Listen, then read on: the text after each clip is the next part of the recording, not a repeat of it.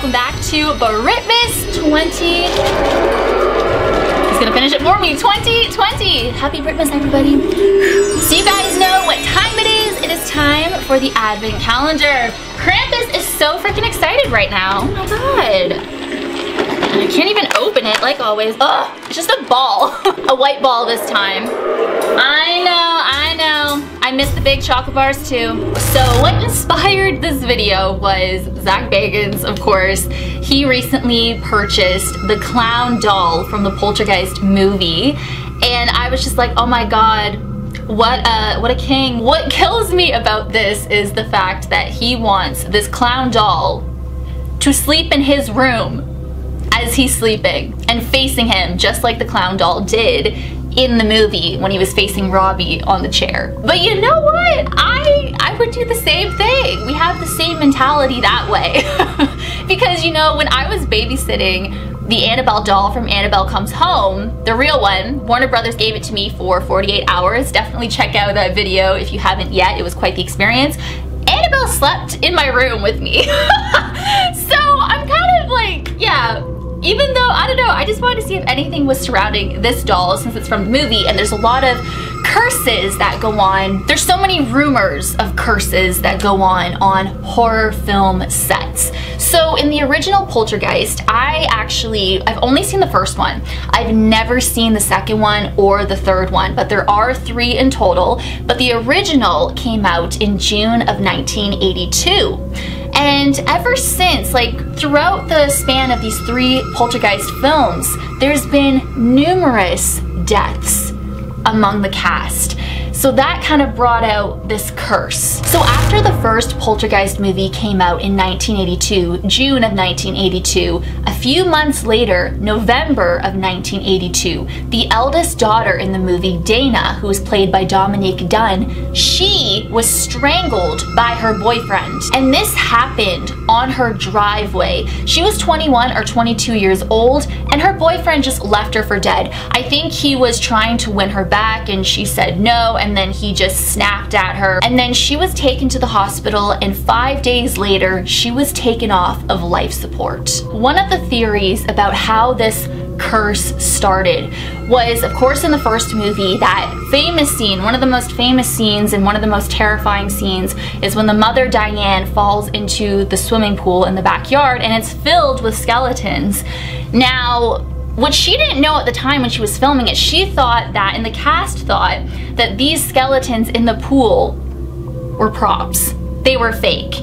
But no, they were actually real skeletons that she was filming with. So maybe, and this is what a lot of people believe, is each of these skeletons, the spirit that these skeletons belong to, or the spirits, they didn't like what was going on. They didn't like how their bones were being used in this horror film. And maybe that is the beginning. That is um, a big and strong theory within this film. So now when they were filming the sequel of Poltergeist, one of the actors in the sequel, William Sampson, he performed an exorcism on the set because he knew about the real skeletons from the first film. And this was two years later, so in 1984. So the night before, he went to the set by himself late at night, performed this exorcism, and apparently the next day, everybody on set felt great. They felt relieved.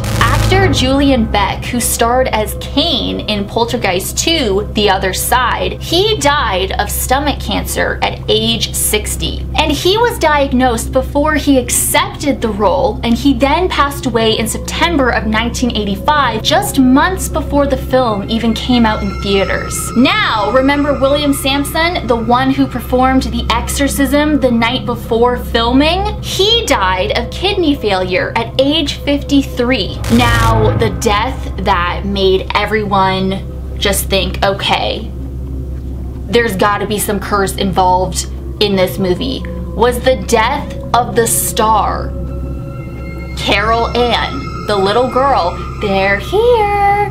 The face of Poltergeist She is the star, the little blonde girl, Heather O'Rourke. Heather died of cardiac arrest and septic shock caused by a misdiagnosed intestinal issue. And she died in February 1988 at the very young age of 12, just several months before the release of Poltergeist 3, the final chapter. The next death is like something out of Final Destination. Actor Richard Lawson he almost died in a plane crash. He was in this plane crash, but he survived, thankfully. And this happened in March of 1992. A total of 27 people out of the 51 who were on board were killed. Now, Richard Lawson, he's had many other close death encounters. On his 21st birthday, he barely avoided a bullet. Just barely. And a few years after that, he was so close to being hit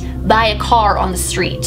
He was also in a very severe car crash and his body was bent in half. And if it wasn't for his window being rolled down, he would have most likely died. He also almost killed himself with a drug overdose.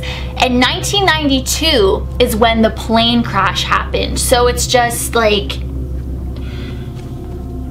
it's insane. And I was watching an interview with him and he's just like the curse. He was talking about it and it, I, I just, I'm just amazed by this man, like really amazed. And when Richard Lawson got on that plane, he was upgraded from his original seat to first class. The person that was in his original seat, the seat that Richard Lawson was supposed to be sitting at, that person passed away. So it's just his near death experiences are just so freaking close and they've happened over and over and over again. Now, in 2009, a cast member was brutally murdered in his home with an axe. Actor Lou Perryman, who played the small role of Pugsley in the original Poltergeist film, he was 67 years old when a recently released ex-convict killed him in his own home with an axe.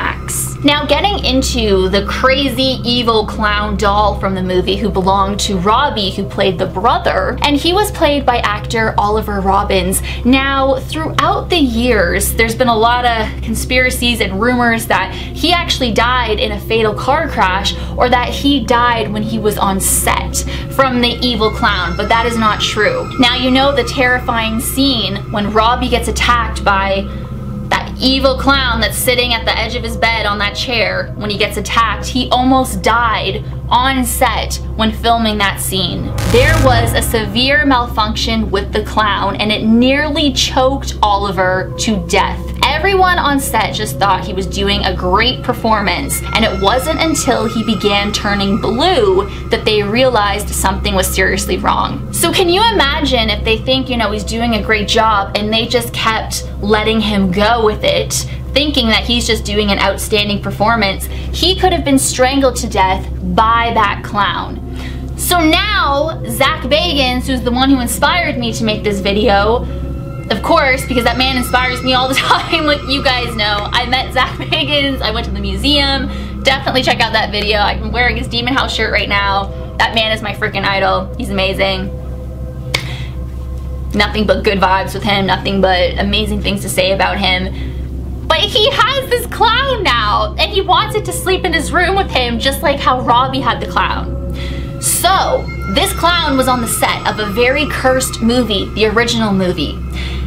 Do you guys believe this is cursed? It has to be. I'm sorry. All of these deaths, and they're all so tragic, there has to be something going on. The main star passing away at the very young age of 12. She died on the operating table, by the way. Like, it's just, every someone was strangled, stomach cancer, Richard Lawson, all of these near-death experiences, like, he just missed death by a little bit and so many times throughout his life. Like it's so creepy. Do you believe that this set was cursed? Do you believe the curse began with the skeletons in the pool? I really believe that. I think that makes perfect sense because just the way that they were used, like they were props. But they weren't props, and I don't think the spirits of the skeletons appreciated that. So Zak is first going to have this clown doll in his bedroom and then it's going to eventually move to the museum. But you know what? I don't blame him. Like I would be doing the same thing. I would have that doll in my bedroom as well just to kind of see what's going on and investigate it, you know what I mean, if it has something to do with the curse. Especially since the actor Oliver, who played Robbie, almost died in a malfunction with the clown. Like, was it really a malfunction? You know what I mean? That's so creepy. Now, Zak spent $80,000 on this clown, and apparently it was already in Vegas at the time at Planet Hollywood. So Zak has it now. It's his, and it's crazy. Low-key jealous, to be honest. But yeah, let me know down below what you guys think. Do you think that this film franchise is indeed cursed? Thank you guys so much for watching. I hope that you enjoyed this video. Make sure to subscribe, turn on your bell so you'll be notified every single time that I upload. Give it a like and comment down below. And I will see you guys in my next video. Happy birthday, everybody.